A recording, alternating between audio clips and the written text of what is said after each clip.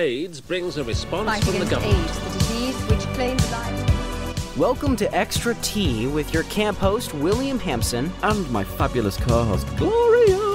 Between us, we'll be looking back through the decades at how Britain reported on the AIDS pandemic. And where we will try to unpick individual stories in the newspaper archives from the 80s, 90s, and noughties. Ready? Ready? All right, let's do it. Ah, hello, you. Yes, you. Mm.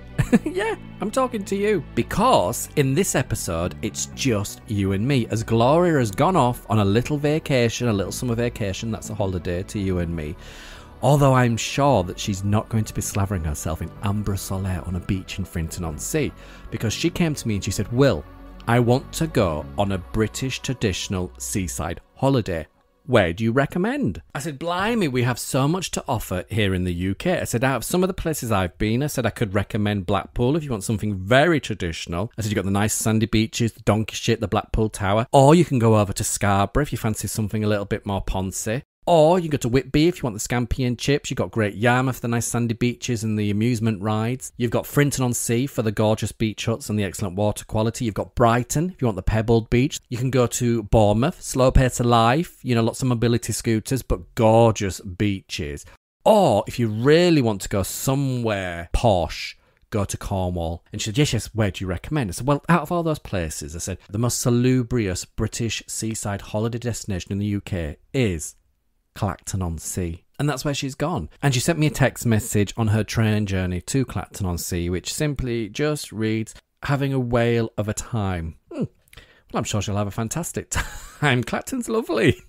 and I'm sure we'll get to hear all about it when she gets back. If, if she comes back. Anyway, what was I saying? Oh, yes. So today it is just you and me. Well, that's a little bit of a fib because I have two amazing guests who will be joining us to talk about their friend, colleague, flatmate, business partner, the uber talented music composer John Lewis. But before we do, let's take a look at the newspaper articles from 1985. Now, the press report extensively on a young man who has just passed away on the AIDS isolation ward at Ham Green Hospital in Bristol. Now, John remains unnamed because he is one of only three patients on the ward at the time, but they do allude to John and his condition via his age. And then, only days later, John himself sadly passes away on the 3rd of February 1985, and the Bristol Evening Post report John's death the following day on the 4th of February 1985, but do not name John until the 6th of February 1985, where they ran the front page headline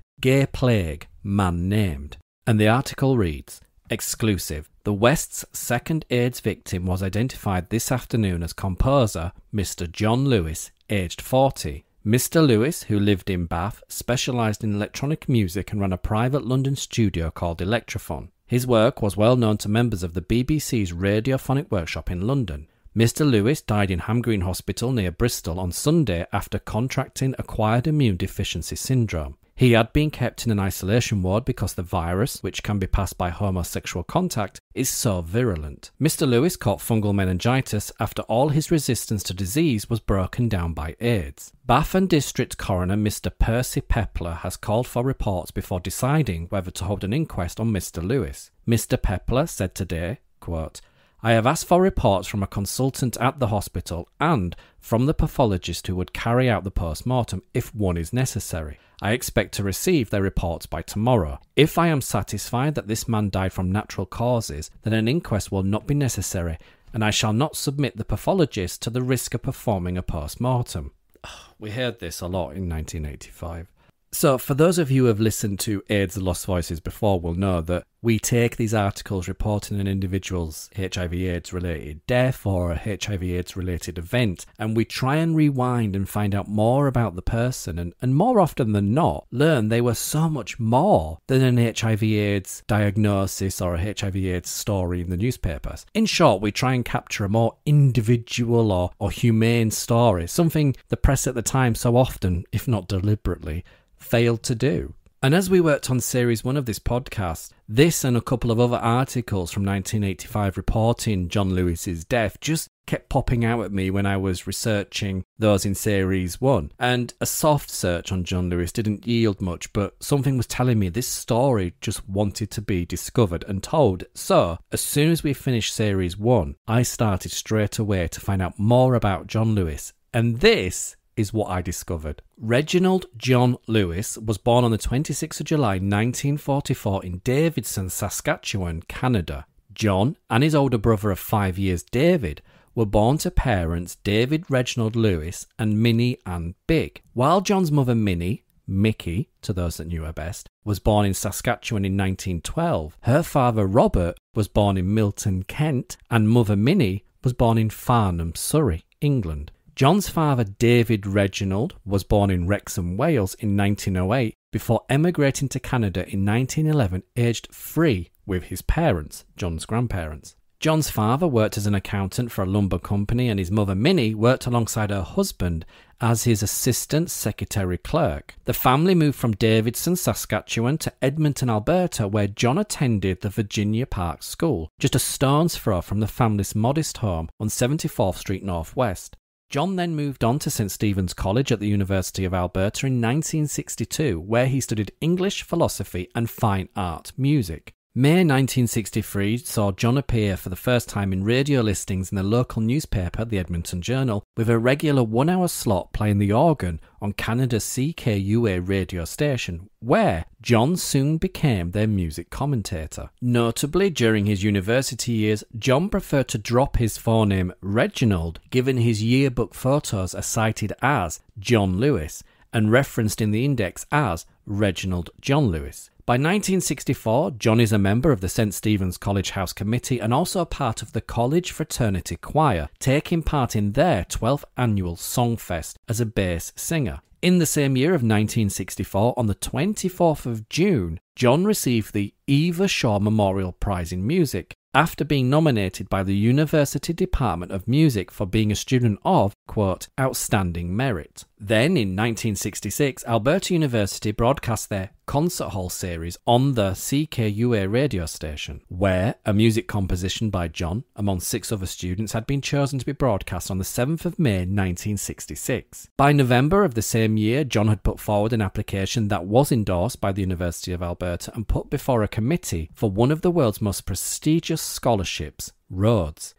The scholarship was so prestigious that to be endorsed by the university, an applicant was not only required to possess a bachelor's degree, but also demonstrate, quote, outstanding academic achievement. John found himself competing with two of his peers, a Mr. Clogg, a Bachelor of Commerce, and a Mr. Mackenzie, a Bachelor of Geography. The committee panel of seven, headed by Justice Kane, a former Rhodes Scholar himself, and a judge at Alberta Supreme Court, awarded the scholarship to Mr. Mackenzie on the 21st of November 1966.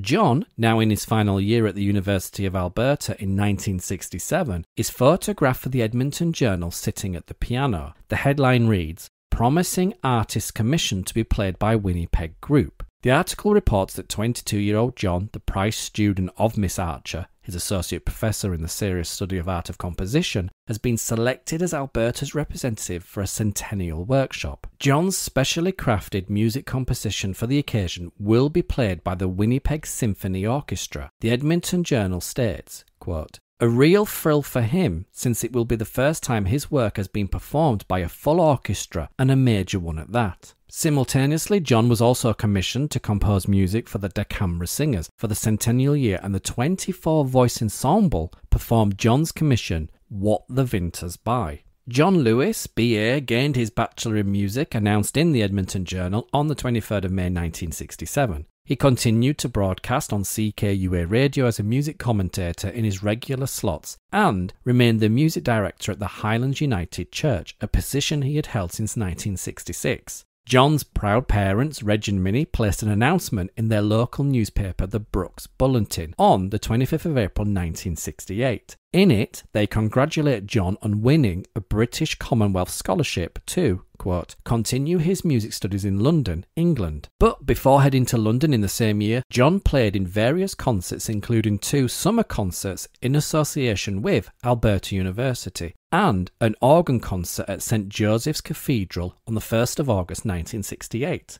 John is confirmed as having accepted the scholarship given he is listed in the British Commonwealth Scholarship Directory and most likely arrived in London mid to late August 1968 to begin his scholarship in September of the same year. Now, it is not clear where in London John took up his scholarship, but John is mentioned in the Daily Telegraph on the 10th of November 1969, having been credited with composing music for a performance titled Alternations by Greg Maher. Maher was an American modern dance teacher at South Kensington Institute, now known as Imperial College, and at the dance centre which was located on 12 Floral Street, Covent Garden. Interestingly, John would come back to this genre when commissioned by Ballet Rambert in a few years' time. Then, in the years between 1970 and 1972, John studied advanced composition under the renowned German composer Hans Werner Henze in Rome. John's return to England from Rome is next documented in the Daily Telegraph newspaper on the 26th of April 1973, having composed music for a ballet titled Redshift directed by dancer Carolyn Carlson. And around this time, April 1973, John's music career led me to the archives at Ballet Rambert, where I learned they commissioned John in 1973 to write the score of Isolde, choreographed by Norman Morrice. The score had its premiere at Sadler's Wells Theatre in London on the 27th of September 1973. John was also credited as the assistant music director as Isolde Todd theatres around the country. And John's work with Ballet Rambert didn't end there because he was again commissioned to write the score for Spindrift, which was choreographed by Norman Morrice, which premiered at the Camden Roundhouse on the 17th of April 1974. John was also credited as writing the score and touring with the company as assistant musical director and pianist in performances in theatres up and down the UK. In the absence of John, the accomplished Carlos Miranda occasionally assumed the role. Spindrift was last performed at the Theatre Y Wearing on the 3rd of May 1975.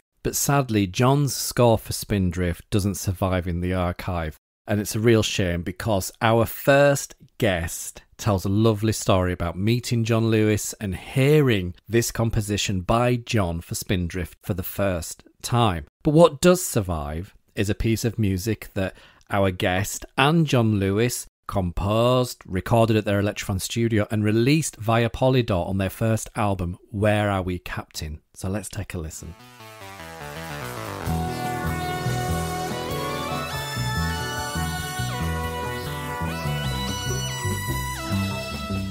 And now I'm joined by a very special guest, a thoroughly lovely man.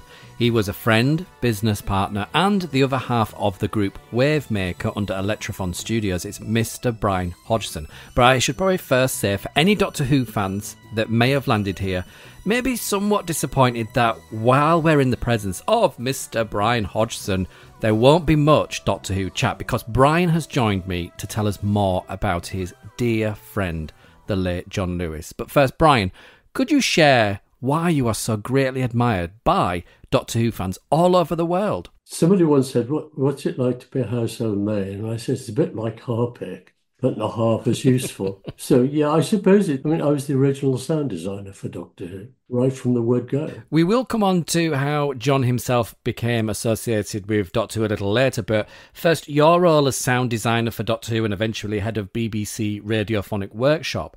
You are recognised all over the world and greatly admired for creating the sound of the TARDIS and the voice of the Daleks, I believe. That's the iconic thing. I mean, that's seem to remember I've got some sort of award uh, or Hall of Fame from the.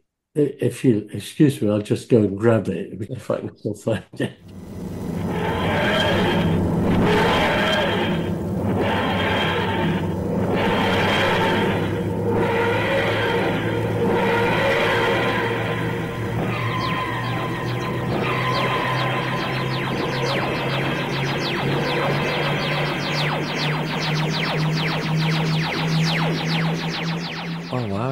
It's uh, from Cult TV, the fourth International Cult TV Awards Hall of Fame, back the TARDIS uh, Doctor Who. As modest as you are, I'm clearly in the presence of a cult TV icon. But am I right in saying that I, I think I read an article somewhere that said that you yourself are not a Doctor Who fan? No, I worked on it. I, I am more of a Doctor Who fan now because I think Russell's script and shooting are, are, really good. Let's face it, we were working with no equipment, cardboard sets when it all started, but it was in other people's imagination, mm. you know, in, in spite of the wobbly walls and things like that, mm-hmm. um, which is all they could afford at the time. We were able to, to create another world in people's minds. Sound and the backgrounds and everything helped that enormously. And of course, nobody had heard a, a signature like Doctor Who before. Mm, an amazing theme tune, and I guess at the time, sounds that were unrecognizable, but today are instantly recognizable to be associated with with Doctor Who. And this is coming from somebody like myself who's never watched an episode of Doctor Who. I would be able to instantly recognize the Doctor Who theme tune, and of course the the very famous and iconic voices of the Daleks. Well, I, of course the uh, the voice was an important part of the Dalek. Mm. And I worked with Peter Hawkins, who was one of the most lovely men you could ever meet. He was such a sweetheart, helpful, and a brilliant actor. And we had to devise something. So we did a few experimental sessions till we got it right with yeah. Richard Martin, who was the director. And Brian, are they still using the same voices on Doctor Who today? They they still use the same treatment on the right. voice. It's modulated at 30 cycles. And so it's a ring modulated voice. I mean, I devised the basic treatment for a radio program called Swords from the Stars, where they had a robot butler. It was called the Jones Robot. I used my own voice, you know, as an actor. So I used my own voice for that. And he was very polite. He was a bit like, is it, is it 3CPO or something? A very well spoken butler he was. So I'd done that treatment. It was a modification of that treatment we decided to use for Daleks. I said, you're going to have to elongate the vowels, otherwise we won't hear the modulation. It was a combination of his performance and the treatment. It was magic. And of course, the writing, all of those, you know, exterminate, annihilate. so much. But we had to be very careful so it was intelligible. In the original, when we first did it, Peter would actually sit in the studio uh, while they were shooting things with a the old sports mic, you know, uh, on the lip, and they they would apply the treatment. Unfortunately, they lost the ring modulator we originally used, which was a post office one. So we had to devise other things. And of course, later when synthesizers came along, it was very easy to reproduce. And am I right in saying that you created the sound of the TARDIS from applying a house key to the strings of a carcass of a piano? Yeah, my mum's house key. yeah, well, it, it's quite interesting because I, in a fit of madness, I shouldn't have done it. I offered that, that piano to children in need. Radio 2, I think, did it. They auctioned it to a farmer who came down to pick it up. And I screwed the key actually to the frame of the piano. We put a thing on it saying this was the piano. You know, he he was a bit taken aback because he thought it was a real piano because he bought it for his granddaughter. So anyway, we gave him lunch and he went off with the piano in his thing. Now somewhere in the country, probably mouldering away in a barn on somebody's farm, is the original piano. Oh no. Well, I am a little bit of a Jessica Fletcher, so I think we'll have to do a bit of investigating and find out what happened to the piano. But of course, we're here today to talk about your dear friend John Lewis, business partner at Electrophon Studios, colleague, half of Wavemaker, which saw you both release several albums. How did you both meet, and what were your first impressions of John? Oh, absolute utter attraction. Actually, we met at a party one afternoon, and uh, I'd been working with a sculptor called Peter Logan doing mechanical ballet. And I'd left the BBC. I was had my own studio in uh, Covent Garden in Neal's Yard. And so there were loads of people there, you know, painters, things, people who were doing things. And it was, it was a very informal party. I can't even remember who was giving it, but um, I spied John and was immediately attracted because he was a great looking guy. Mm. And, and I asked him what he was doing, uh, what he did. He said, I'm a composer. I said, Well, I've got a studio in Covent Garden in Neal's Yard. So I said, What you doing later? And he said, oh, I'm finishing a score, which I've got to deliver tomorrow. So that was it. And I said, Well, let's hope we bump into each other again. I, I was just starting a relationship at the time, so I, I was sort of still a little bit. Seeing how things panned out. Yeah. So I was asked because of my contact with Peter Logan, Christopher Bruce of Ballet Rambert asked me if I'd, I'd do a sound score for one of his ballets. And so I did that. And I went, used to go to the rehearsal in the Rambert rehearsal rooms. And one day I was just leaving after the rehearsal, walking downstairs past the music studio, and the orchestra was playing. And I stopped. I thought, God, that's really terrific music. I love it. So I stayed to the end of rehearsal, and then John came out after the rehearsal, much to my surprise, and we became friends. We're not, we weren't close mm. at, at, this point. I mean, we, I mean, I had no idea of his domestic yeah. things, and he hadn't much idea of mine either. But we stayed in contact, and we'd bump into each other at rehearsal rooms and things like that. And then for the next ballet I did with Christopher Bruce, he'd invited, Rambert had invited uh, Louis Falco over from New York to choreograph a ballet for them. It was called Tutti Frutti, and the score was by Burt Alcantara. And that, I loved that. It was great. I said to Burt, would you like to redo it as an album? I got an electronic music studio and he was into synthesizers. He had his own art, and I had some very special custom built sequences and things like that. And, uh, and so we made it. And then John came by one day and he said, I want to buy a synthesizer. Would you come and advise me? So we went off together. And we went to Tottenham Court Road, where most of the people had only ever sold electric organs. Right. And they seemed to know nothing. so I said to John, well, you know, why don't you come out to the studio and why don't you join me instead of buying a synthesizer? I've got all the gear. So we then did Where Are We Captain? Followed by New Atlantis. Some document that John co founded Electrophon Studios with you, but from what you share, this isn't quite the case, is it? No, he didn't. No. Electrophon was founded by Delia Derbyshire and myself. But Delia was in a, a quite depressive state at that point. Right. Then she decided she wanted out of everything and wanted to go. Yeah.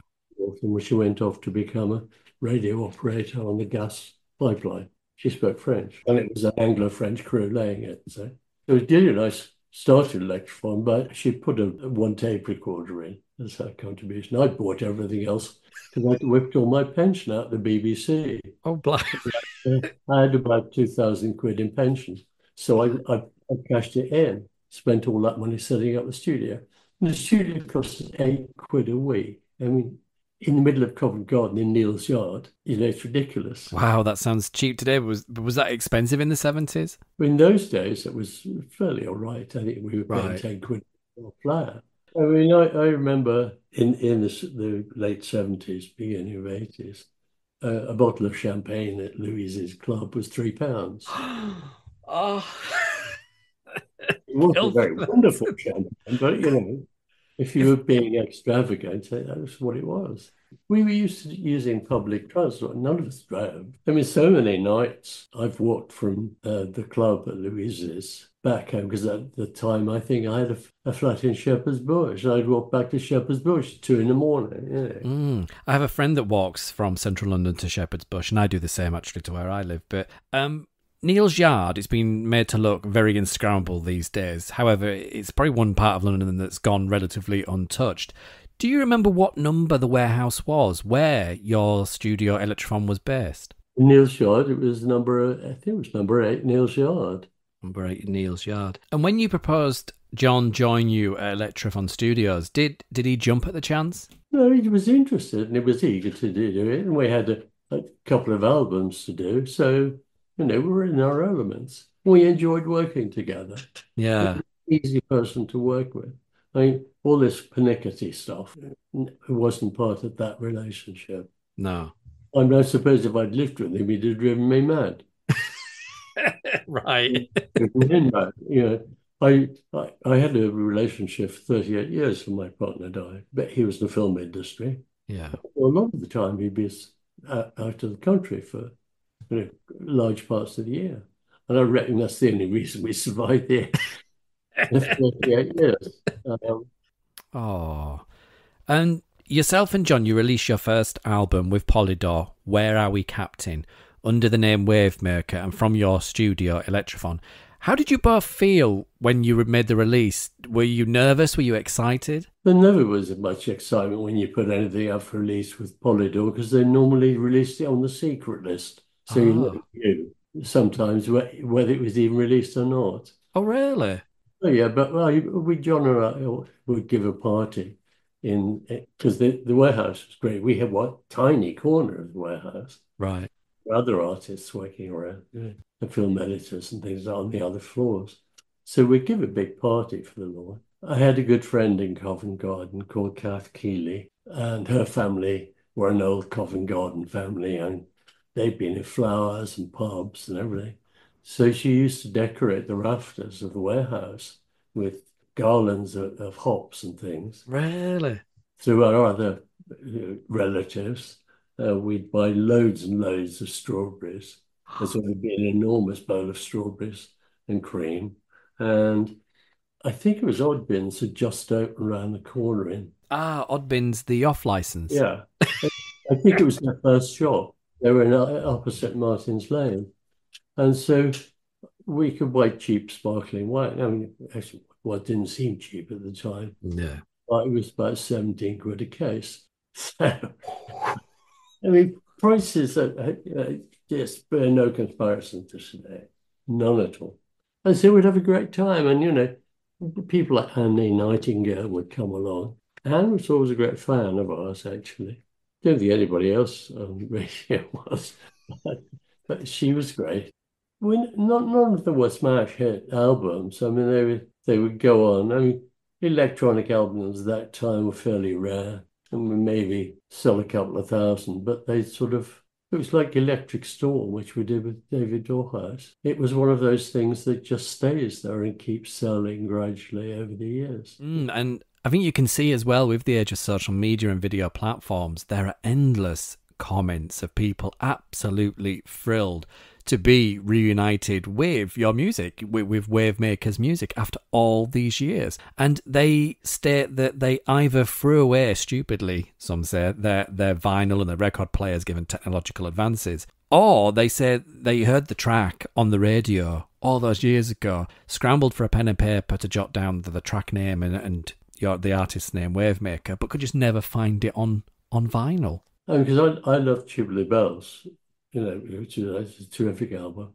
but it was also on Polyphone, and I think we were virtually released in the shadow of Tubular Bells. It's not everybody's taste. but it did receive positive press at the time, and it's it's clearly nostalgic for many today. But interestingly, on the new Atlantis album, on the insert, it says that one track is a homage to John's favorite composer. Well, I only studied with Hans Werner Henze. Mm, and I suppose it was only years from him studying under him to to releasing the album, so I suppose that could possibly be the link to his favorite composer. But what I also wanted to ask you, Brian, was in 1977, John Lewis, under the Wavemaker name, released Mickey Moonshine and Tunnel of Love, which was written by Ben Cross, the stage and film actor perhaps best known for his role in the film Chariots of Fire. Given Wavemaker was yourself and John as the duo, did you have any role in these tracks? Only insofar as we'd created the the track, Right. as Electrophon. Uh, ben was working as, in a musical. and He decided to make it with Mickey Moonshine. And John, w- John used to play in orchestras, theatre orchestras at night. Ah. So he got Ben to come in. He'd, he'd written this thing which we'd used at a launch, Molton Brown, at the Rolls Royce showrooms in Berkeley Square. Oh wow. We, we did an, an evening there, and John put a band together, and, and we called it Tapioca. um, so this original track was was called Tapioca.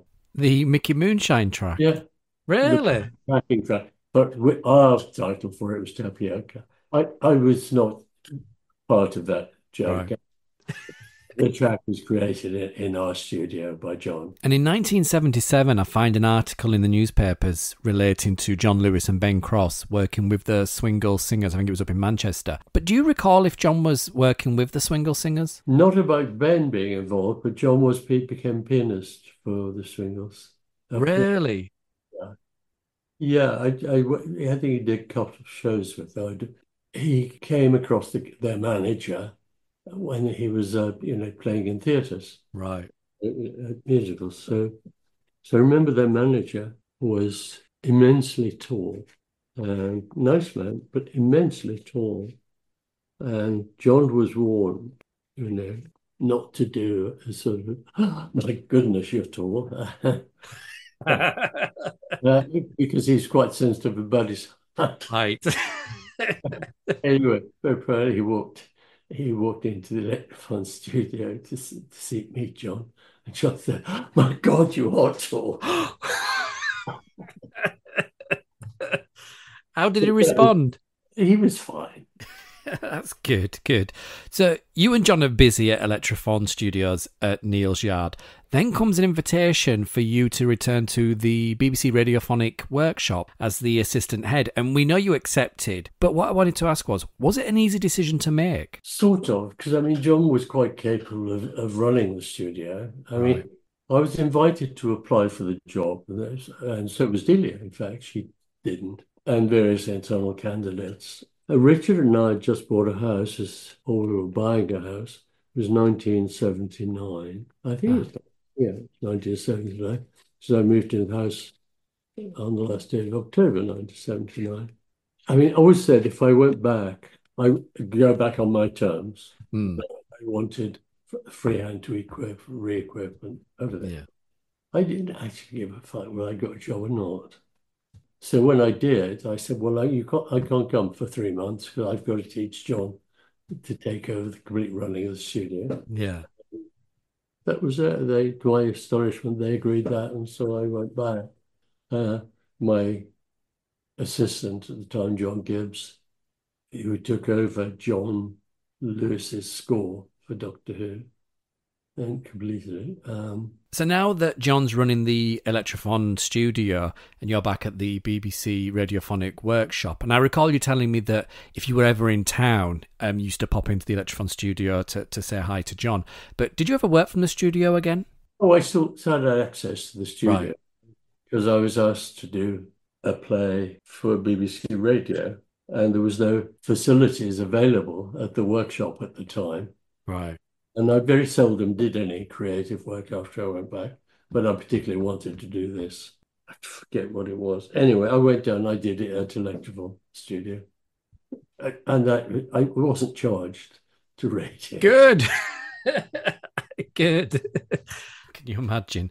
Um, but you go on to become the head of the BBC Radiophonic Workshop, and John becomes involved in composing incidental music for Doctor Who. I believe it was Mark of the Rani. How did that come about? John Nathan Turner, when he took over Doctor Who, asked us to redo the sig tune. And Peter Howell did that.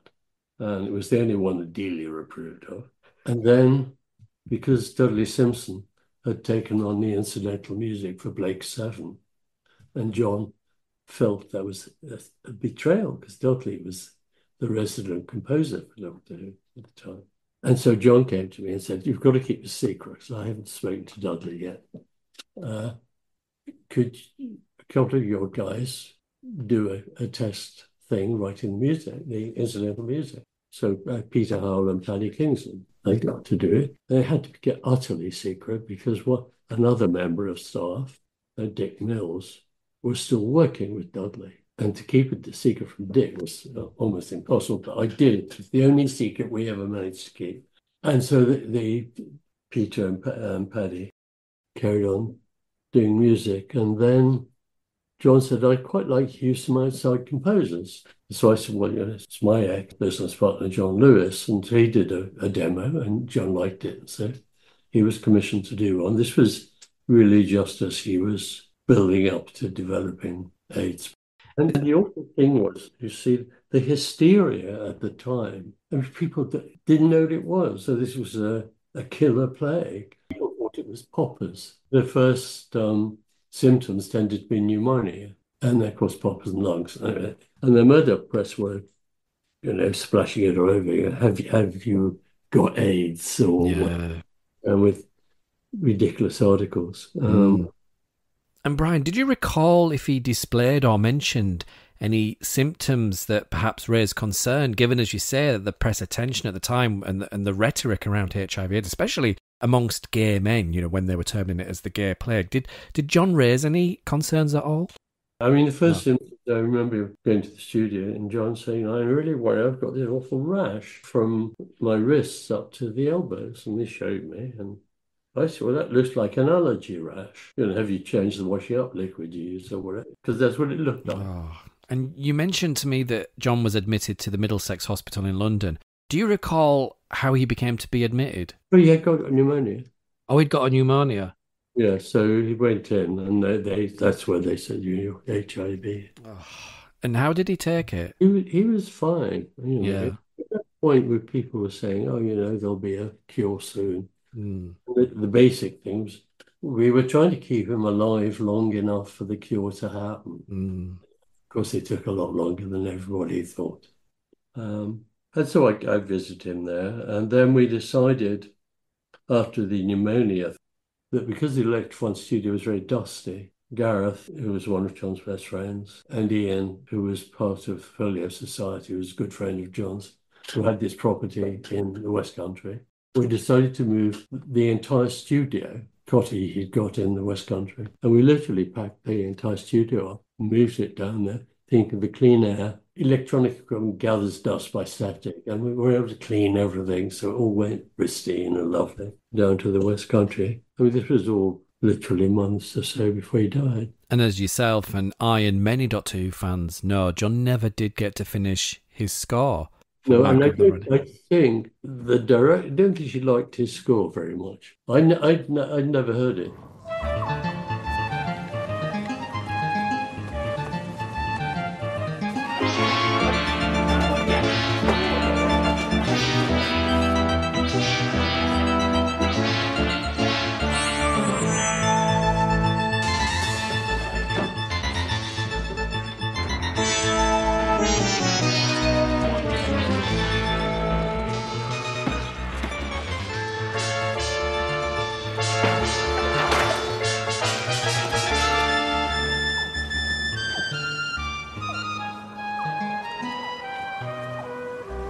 Whether she didn't like his style or whatever, or whether she decided she didn't like it after he died of AIDS. But John Gibbs took over and he did the eventual score. And I, you know, I, I said she rang me up hysterically when I informed the Doctor Who office and they informed her that John was dead. And do you recall how you learnt that, that John had sadly passed away? I had a phone call from, I think it was Big Gareth, and then all, all, literally all hell broke loose. Ugh, and this is with the press. With the press. Yet strangely enough, everyone's getting very hysterical. And but my Richard, my partner, said it'll pass, it'll pass. And literally, I think the thing shock and horror at the BBC referred to somebody else. I think it was right following Sunday. Yes, because when we first started speaking, you said to me that another story came up, and, and thankfully, the press attention towards John's passing um, had then moved on because obviously we know how the press works. But this was the Sunday Mirror on the 17th of February 1985, where they ran the headline AIDS death shock at BBC, take action now, with a strapline gay allowed to work on. He was obviously much higher profile than John was. With John Nathan Turner, I don't think he ever forgave me for introducing John. And he then took all the, the Doctor Who work away from the workshop. Really? So so he'd taken away all the Doctor Who work from yourself at the radiophonic workshop just because you'd introduced John, John Lewis, and and John had died of AIDS related complications. Yeah. Oh. I'm speechless. Oh, but you mentioned as well just a few moments ago. Was it the the direct the director of Doctor Who was also a little hysterical that you know John had died of age related complications. But I mean, I don't blame her at all because the Murdoch press had found this hysteria, and and because nobody knew really, I got the, the specialist speak to uh, you know, explained it. Just to it jump was, in here, you could probably hear that the sound was getting a bit muddled up due to a few technical gremlins, but Brian was basically just saying that he'd put the director of Doctor Who in touch with John's HIV/AIDS consultant at the hospital where he passed away to try and allay any fears she had in regards to HIV and AIDS.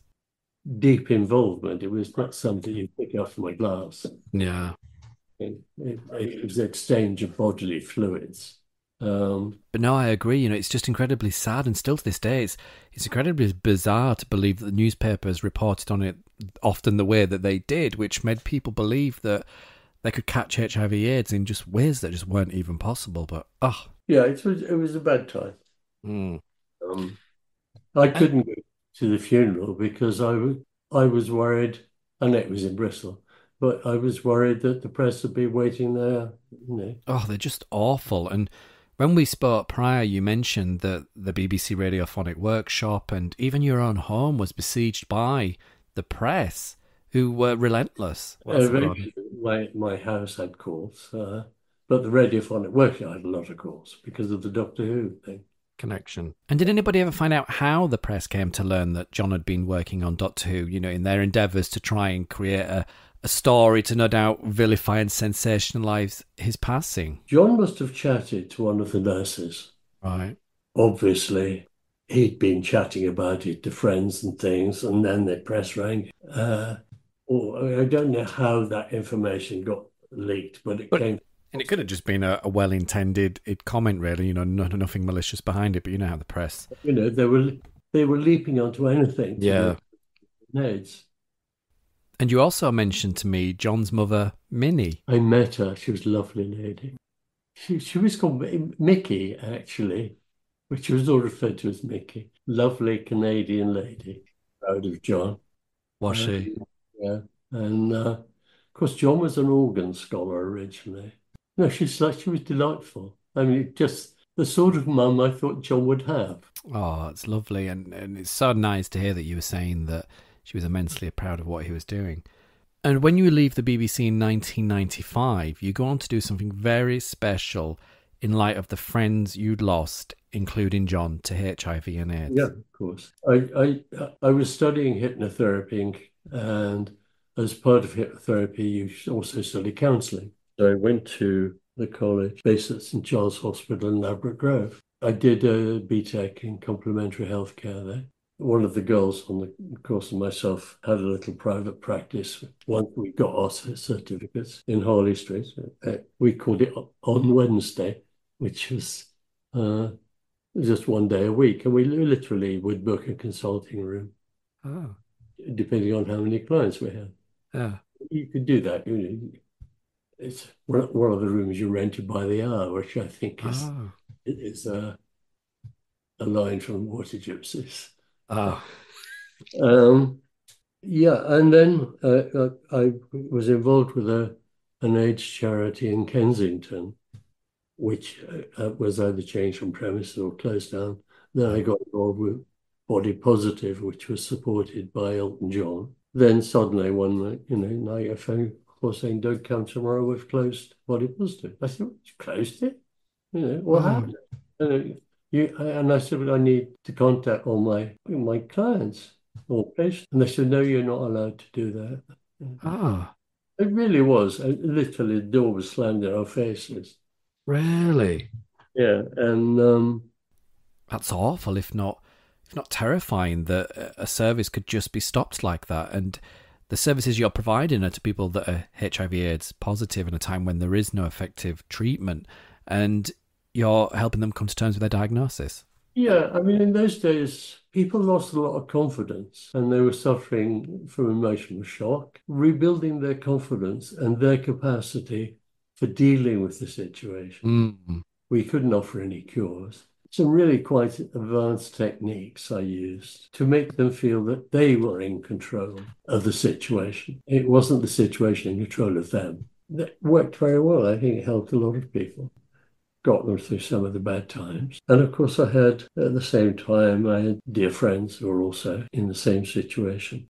Yeah, it's It's it's a time, Brian, when many like yourself didn't have to have contracted HIV or be living with AIDS for it to have an impact on on you and, and your life as well through through living through those times and seeing firsthand your friends lose their lives to, to this disease. Yeah, including several people I uh, had sexual relationships. Um, never. Never contracted it yourself. But many men, gay men especially, who lost so many, have shared they carry what, what they term as survivor's guilt. Is that something you perhaps can recognize yourself? I, I've I only felt guilt in the way that you know they were dying and I hadn't contracted it, and that I couldn't do more to help. Yeah. I, I, there was one particular Sunday where I felt dreadful because I got a phone call saying that a friend of mine was dying in May, and he would likely not survive the day. And it was my birthday. Like the whole family had travelled out the north of England and up from Gloucester, and and I never I couldn't get down to the hospital. He passed away without uh, me being there. Sure. And, and so many people were infected by the blood transfusions. And so, you know, your podcast should be in their memory as well. Mm, you're right. It's always worthwhile remembering that this disease didn't affect and doesn't affect just gay men. I mean, disproportionately, yes, but you know, we also covered the story in in the first series of baby Anthony Thorpe, who received a blood transfusion after being born prematurely over in America, and received contaminated blood, and then sadly passed away from AIDS. And we also, as well, a couple of episodes ago, covered the story of Roy Corns, who was a haemophiliac and received contaminated blood products in the factor eight that he was receiving that you know, gave him HIV, and then he later passed away from AIDS because there was no effective treatments here. You have to remember that, you know, there's so many other people as well that are affected by the same condition. But Brian, before we end this episode today, there's just one burning question that I've got in regards to your friend John Lewis is what was his dress sense like? I think this will help me just build a bit more of a picture of John. You're, you're too young to remember the clone lumberjack shirt and jeans. No, the clone thing was sort of the um, the lumberjack shirt and jeans. Is that what he used to wear? Yeah. Um, oh, with his handsome good looks and his tash and beard. Gosh, he sounds a dish. Brian Hodgson, thank you so much for taking the time to share more about yourself and your dear friend John Lewis, the composer. And we specifically arranged to speak today, the 26th of July 2024, on what would have been John's 80th birthday. So I think it's only right and just that we raise a glass and that you, if you will, lead a toast to his memory. Yeah, so let's not only toast to John, but all the friends who were lost, to the lovers, the people who supported them, and the people who were accidentally infected by blood transfusions and the rest. To all of them. To all of them.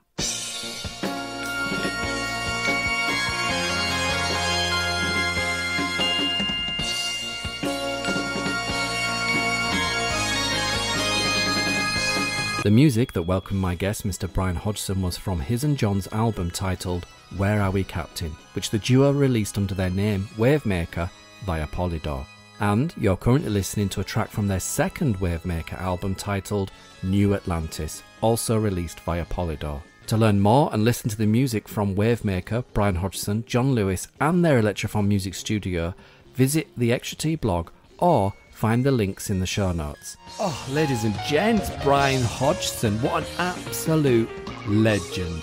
And what a wonderful insight into John Lewis's life. It really does bring John to life, hearing from somebody who was an admirer, a friend, a colleague, a business partner. So, Brian Hodgson, thank you so much for your time. You were truly amazing, an absolute gent. I very nearly made him late for choir practice. So, Brian Hodgson, thank you very much. Right, so, as we've just heard, Brian Hodgson and John Lewis were business partners at Electrophon Studio in Neal's Yard, Covent Garden. It was during this period in 1976 that brought sad news for John. John's father, David Reginald Lewis, had sadly passed away after a short illness on the 28th of May 1976 at Brooks General Hospital, Alberta, Canada. Then, Brian and John the following year in 1977 released their second album via Polydor Records from their Electrophon studio, titled New Atlantis, under their duo Wavemaker. Brian then returned to the BBC Radiophonic Workshop in December of that year, and John now found himself alone at Electrophon and also lived alone at the flat he rented in Earl's Court. John kept himself fit with regular visits to the fitness centre and was also known to be a keen swimmer. With his handsome good looks and his gay clone image, he was not short of male attention. After all, John was living in Earl's Court, the very heart of London's gay capital, in the 70s and 80s, way before it moved to Soho. And we just heard from Brian Hodgson that John also had connections with the Swingle Singers, having played as pianist at several of their concerts. John was also commissioned by the Swingle Singers, along with four other composers, to compose a track for their upcoming album titled Pieces of Eight. On the back of the album cover, it states Here are eight original pieces composed and arranged for our group by five gentlemen who are currently making their mark in the contemporary pop field. It so happened that they are also friends of ours. John Lewis, wrote a rather charming old fashioned piece called Trouble with the Tune, the tale of a young lady haunted by the past. And this was another occasion where Ben Cross, star of stage and screen, worked alongside John in providing the lyrics for Trouble with the Tune. John is also credited as playing the quote, electric keyboard on the recording at CBS Studios in London ahead of the 1977 release of the album Pieces of Eight.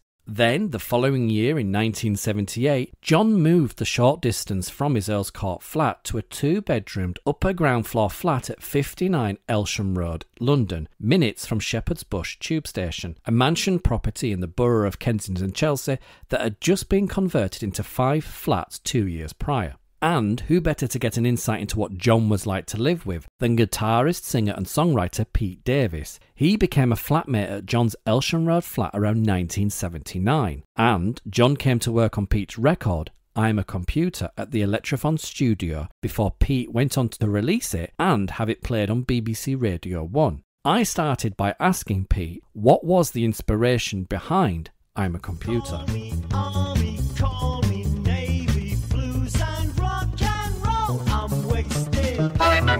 Computer. Are you a computer too? I'm a computer. Are you a computer too? Print out. It's okay. I mean, people like it, but of course, I obviously have mixed feelings because it's it's quite personal to me, and it reflects a time which was not my happiest time in my life uh, but then you know which part is the happiest time of your life it's uh, Yeah. can be a struggle at times but it reminds me of trying to get a bit of money together going to see john lewis in his studio hoping he'd turn up you know me being the underdog and trying to get john you know with sort of crumbs to go on his synthesizer And what's the story behind the lyrics of I'm a Computer? Well, it was really, it's quite a negative song, which is in a way unusual for me. Um, it's, you know, one door open, one door closes, this Mm. way, that way, which way, I don't know, sort of thing. It's all about a journey in life and the fact that it doesn't always work out, unfortunately, the way you'd like it to. You know, you go along and bang, it's, Mm. and I think it may, I don't think it does a snakes and ladder thing, but it's the idea that you get to the top and then you're sent to the bottom and you're going here and you're being led there. That's what it's Ah. And Pete, can you share what you were doing musically and, and how you'd come to meet John Lewis? I was a guitarist at 14 and uh, I, I played in a pop group and we we wrote, I wrote, and a friend of mine wrote with me sometimes. We wrote original songs. They were very romantic and I think the kind of thing 14 year olds write. Not really that good, but uh, to me they were lovely. Mm. And uh, we were sort of popular in our own little town and uh, in all the village halls. We were big. Yeah. you know, big in youth clubs. Yeah. And and then I, I went to London like everybody did, and I spent a lot of time going backwards and forwards to London because London at the time was the centre of the universe as far as music went. I used to play with Robin Scott, who wrote pop music, and his brother Julian, who also was on pop music. Uh, I got a phone call. I think Robin phoned me. I was in Sussex. He phoned me. He said, "Are we doing this track, or I'm working with John, or John was doing a track and needed a guitarist." And that was it. I got in my car and I drove to Earl's Court. Uh, I arrived late. Well, you know, I had sort of jumped in my car. Mm. John, in a fit of pique, I remember him sort of looking very petulant and sort of saying, "You're late." I thought, well, you. Just driven, you know, like through Earl's Court in my car, find your stupid flat. Uh, in those days, we only had an A to Z. We didn't have sat nav Mm. and you used to balance the A to Z on your steering wheel. And so I did a good job of getting there, I think. But John wasn't happy. I'm not sure I even recorded my guitar part, uh, but I stayed over at John's flat in Earl's Court, I remember. And I probably went home next day. But I also then I did another recording for John as a guitar player in another flat very posh part of London. I can't remember. But then after that, I, I ended up sharing a flat with John in Shepherd's Bush. Oh, wow. and how did that come about? I don't remember. I really don't. He probably had. I must have bumped into him, and I was going. I've got nowhere to live, which was quite normal for me. Yeah. And he probably said, "In I, I won't do John's accent. Oh, go on. I've got a lovely flat for you, Peter." I thought, well, I need somewhere to live, so I, I shared. Uh, he, I had a room. He had a room. I never saw John because he was had this amazing social life, which I didn't have. Uh, I came complete without a social life. Uh, John had one, and uh, off he went. But I, so we didn't see each other very often. And I was like, a, it was like Cinderella. It was like I was Cinderella. It was like living with a, a not too ugly sister because he was a very good looking man. But he was always off doing stuff, and I was left at home like cinders. And I was like cooking him stuff. I was a real idiot. I could, I'd make a night because I loved cooking, so Yeah. I'd make some night some jus or something, and I'd leave it on the side for him. I remember once I did. I made some sort of jus. It was like a, and he said, "Oh, I love that jam," and I thought it wasn't jam. It's jus, mate. That goes on your meat. What I made you. But anyway, so that was the relationship we had. I was failing abysmally or trying very hard to meet people, and John was playing for Ballet Rambert and the Swingle Singers. Yes, and you were telling me prior the story when they came to the Shepherd's Bush flat. Well, I, I know they all turned up at his flat one day uh, and sort of did some swingling. I, I can't tell you that about their personal lives, but John told me immediately afterwards. Um, yeah. Ooh. And uh, and once John had to go and rehearse. Uh, Ward Swingle, I think his name was, who ran, who was Mister Swingle, Swingle. uh, lived in Uckfield in Sussex, and I was going back down to Sussex, and and John cadged a lift with me. I remember that because I got a flat tire, and John again was very put out. I thought, Oh. so ungrateful. I took you all the way down here, and we got a flat. Well, actually, I made him late. That's why. Pete, you and your persistent lane. but I didn't make him late. You know, he, he has to be responsible for his own decisions. Absolutely. But was this John's demeanour in general, or was it perhaps just directed at yourself? I think with me, he wasn't very happy with me, and he could be very, he could be very cutting um, and dismissive. He was a bit bitchy, you know, in a sort of Yeah. gay, queenie sort of way. Uh, he had that ability to do that, that sort of, you know, clacking his heels and stuff. and and looking back, do you think you took this personally, or perhaps? I um, think I did. I was quite sensitive, and I want, I, you know, I, I, I wanted to be John's friend because John, like a lot of people I knew then, seemed to be the gateway to some sort of success, and I don't think that's actually true now. But to me, as I was probably, I don't know, when I first met John, I was probably about 18, 19. I can't remember. John was talented, and he seemed to be in demand. Mm. And you touched on it briefly, but when you're both at home as flatmates, um, what was he like to live with? Because it wasn't always harmonious, was it? he was prancing around about something. I can't remember what it was, but then he told me off for something that I hadn't done. I think I was hanging around the flat too often and I should be out, you know, on the streets or something. And then he said, and what's more, you had a whole kilo or whatever it was of my cheddar that I've just bought. And uh, I took him in the kitchen and there it was sort of mouldering away on the side merrily. I said, look, there's your cheddar, John. but uh, he didn't say sorry or anything, but uh, doesn't really matter. But um, no, he was he could be quite kindly. I rem- he was kind to me at times. He was never very critical of my guitar playing. I wouldn't say he was in awe of it because how could he be? I'm not a classical guitarist and I don't have the skills or knowledge he had. But I did have something which all pop guitarists at that time had, which was the ability to improvise. Mm. And also, I played him some demos that I'd done, I, and I think he he he was intrigued by what I was doing. And also, I'd, I'd done a lot of demos because I was writing songs for other people, and I'd always put a guitar solo in there somewhere or some guitar thing. So I think uh, he actually enjoyed what I did. Uh, and uh, maybe I'm belittling myself or not giving myself enough credit, not credibility, whatever the word is, because he, yeah, he was, he did like what I played, and maybe, and I was good at the time, but I, I'm not that anymore because everybody's a good guitarist nowadays. You know, you have to go on YouTube for a week and you're a genius, you know. So he could be kindly, and he did. I remember the man. He he sent me off to see a guitarist called Timothy Walker who was at the time, I don't know if he's still alive or anything, but he was a quite a well established, well known guitarist. And he said, go to him and have some lessons with him. I went a couple of times, but I t- again I wasn't I wasn't a classical guitarist. I was like a rock and roll pop person. I couldn't, you know, it's a, like you know, it's a completely different field. Although I knew a bit of classical music. And am I right in saying that you worked with John at the Electrophon studio? Yeah, yeah, that's why I recorded "I'm a Computer." Ah, so what do you remember of your time over at Electrophon over in Neal's Yard in Covent Garden? Oh, it was in, it was in Neal's Yard.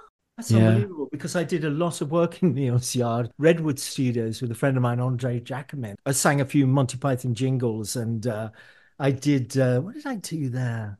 I didn't realize it was the same place. I probably approached it a different way because I used to come down yeah. Baker Street to go to Electrophon. Well, I walked. I used to walk from Baker Street.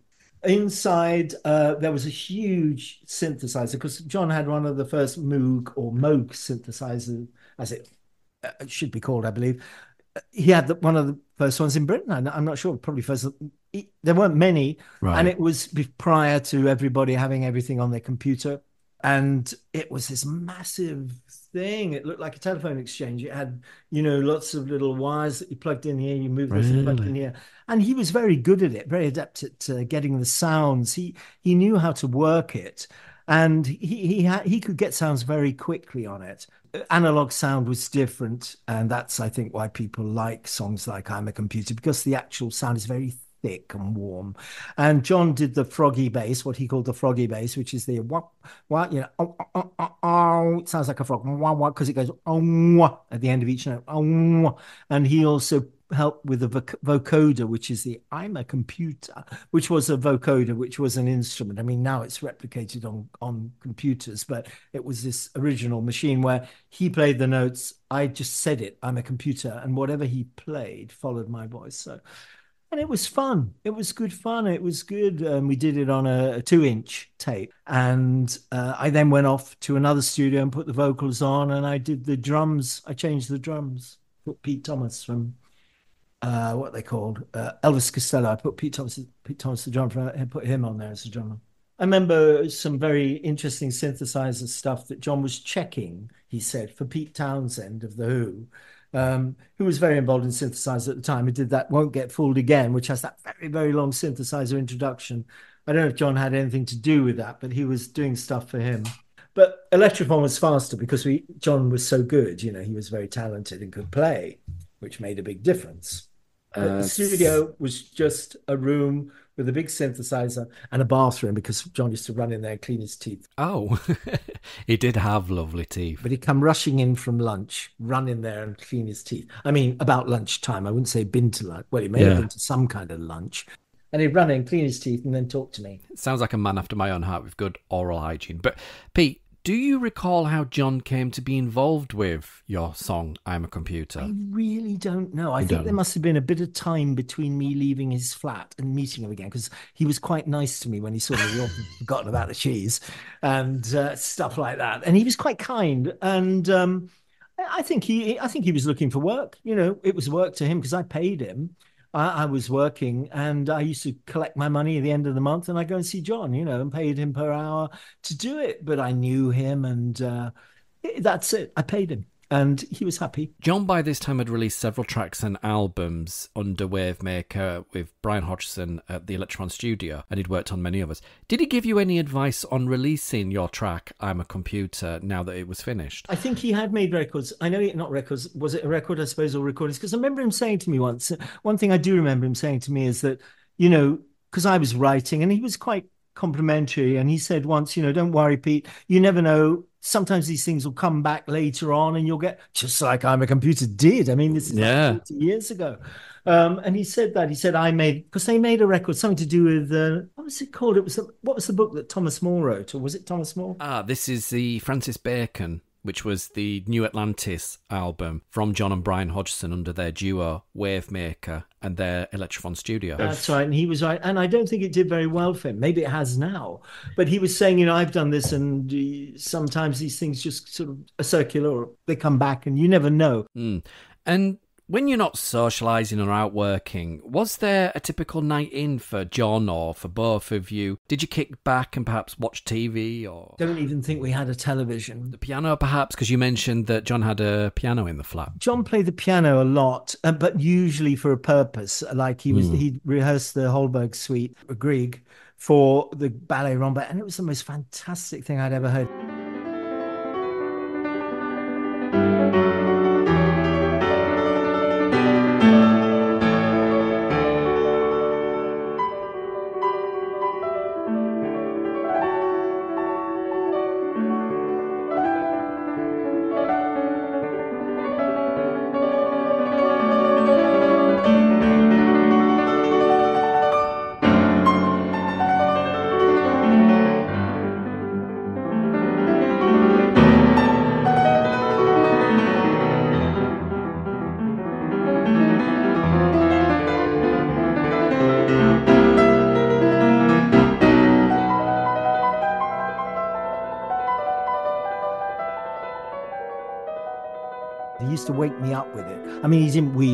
Piano into my bedroom and stuff like that, but he was in the other room, and I heard him playing this music on the piano because it's very fast. I don't know if you know it. It's all played on violins, but John played it on the piano, and I thought, God, this is so lovely. This music, and and he could. He was very skilled, of course, and he could play straight off, no mistakes. I, well, I didn't know, but there was nothing. And uh, yeah, I loved it when he played that. It was lovely because he brought me into an, a, in a, to a place I, I hadn't been before, which is what a lot of music always does to me. Uh, you know, especially particularly classical music. I'm taken to a lovely place. But um, yeah, but he never had a typical evening in. I, I don't remember John ever being in. He was always out up to mischief. And um, of course, at the Elsham Road flat was only a short walk from Earl's Court, which at the time was the gay capital of London in, in 1980s. But you were also friendly with the gay neighbours. Once going over the road where there's an Australian gay guy, very amusing fella, and some other gay people who live there, and we had cheese on toast. And we were very happy, me and John, because we was if we weren't having my jus, we were having cheese on toast. Remember how delicious it was, but I think it was because we was always starved. It's like I was very thin then, and the reason was I didn't eat. You know, you didn't have breakfast, and you probably didn't have lunch, but you had something at some point, and you did a huge amount of walking.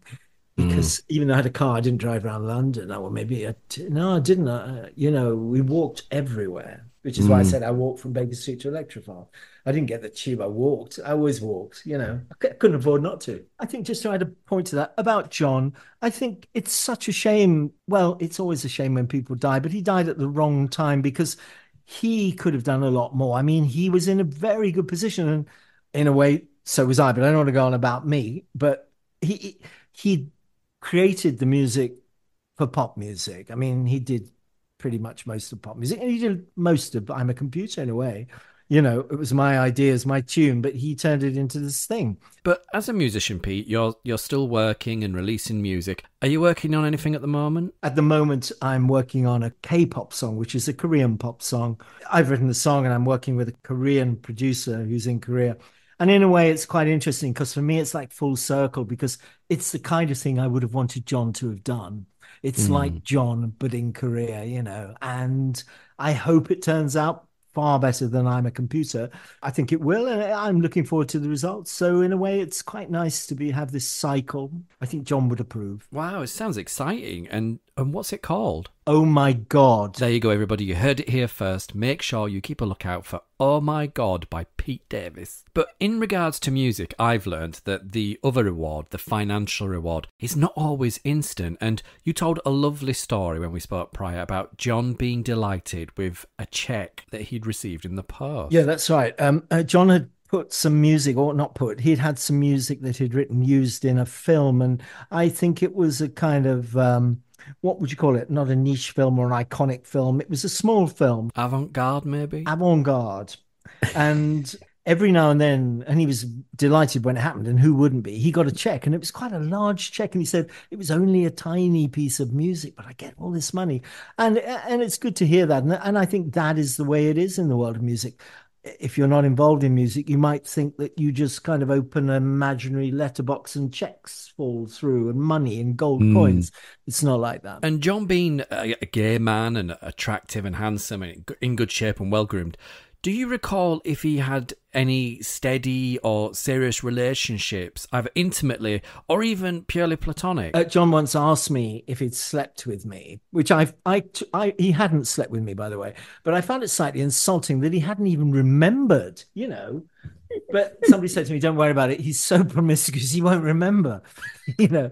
And I thought, yeah, he Oh. knew Tim Curry, the actor. The only people I met of John's were uh, a chap called Nelson, who was a very sweet, sort of attractive, and he he was very muscular and handsome and a ballet dancer, and he deported himself well. And I remember him saying he'd been told off at his ballet lesson, and the teacher was going, "It's all with the shoulders, dear, or darling, or whatever." And he showed me, and it was with the shoulders, and he, and I've always remembered that because he did it in such a graceful sort of way. He just went, "I can't do what he did," but he did something, and I thought, I've never forgotten it. Wow.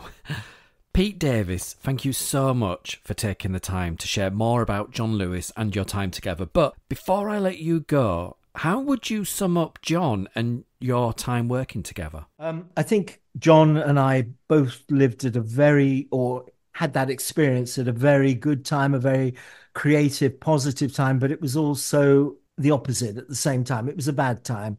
And simply because we were poor. I don't know if being rich would have been any better. And his talent wasn't, didn't really come to the fore. It would have come to the fore since people would have discovered John as they are now. And he would have been incredibly successful, I'm sure, because he was uh, one of the original sort of pioneers, without sounding cliched or corny, of the synthesizer at that time. And not only that, he wasn't dabbling with it. He was a talented classical musician. So he had the knowledge that none of us have. We would have turned it on, pressed the button, and run off like a couple of monkeys or something and go, ooh, in the corner. You know, we wouldn't have known what to do. But John knew how to make things come out of it and could work it. And in that respect, it's sad and it's it is a bad time. That was a bad time because who knew what was coming for John? But in that short period, he showed his potential and his he had a you know he had a potential that was never seen, never never exposed to to to the to us, the general public, or to people or the music world, and that's a sad thing. But he did good while he was here.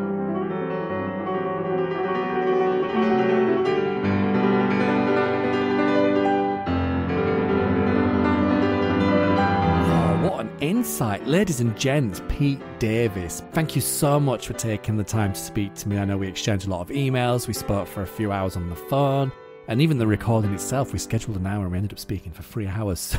so many stories to tell. Such a wonderful insight that really adds to the character of John and, bringing him and his story to life for people like me that never met John and don't know John. So, Pete, thank you so much for taking the time to speak to me. And as we just heard from Pete Davis there, he mentioned Pete Townshend of The Who. Well, I did find out that John had done some work for Pete Townshend on his 1982 album, which was recorded in 1981, called All the Best Cowboys Have Chinese Eyes. And John Lewis is credited as Fairlight CMI programming. Now, the Fairlight CMI was a digital synthesizer, sampler, and digital audio workstation for those like me not fully in the know, but still a good gig, no?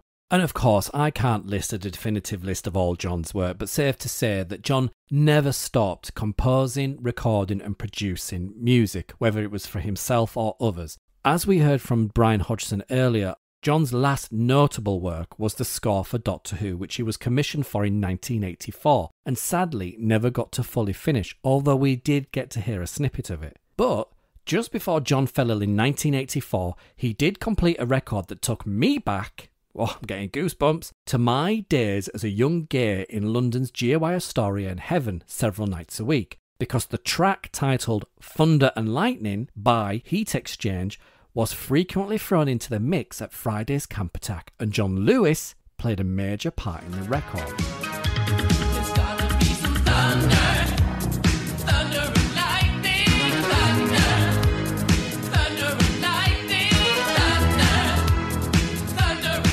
John Lewis, Gareth Marshalsea, and C. Platt are all credited as writing the track, and in addition, John is the producer, arranger, and programmer, and recorded the record at Electrophon Studios before it went on to be mixed at Eel Pie Studios. Thunder and Lightning by Heat Exchange was released across the UK, Europe, and the Americas with various additional remixes thrown into the mix. It was re released on compilation albums in 1985, 1990, 1997, and in 1998 on a compilation CD titled Heaven, a nod to London's gay nightclub Heaven, and in 1999, Stonewall Greatest Hits, acknowledged as a bit of a gay anthem and re released twice in 2001 and again as recently as 2010. John's involvement in Thunder and Lightning under the name Heat Exchange is quite possibly his last notable completed work before he was admitted to Ham Green Hospital in December of 1984. John's mother Minnie makes the trip from Canada to be with her son, along with John's close friends, hoping to keep him alive and well long enough for an effective treatment to arrive. John's death was attributed to pulmonary embolism brought about by cryptococcosis meningitis, often seen in the late stages of AIDS.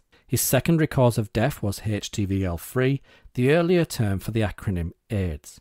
John Lewis, a music composer aged 40, was cremated on the 12th of February 1985 at Haycombe Crematorium in Bath, and his ashes went on to be scattered in the Garden of Remembrance.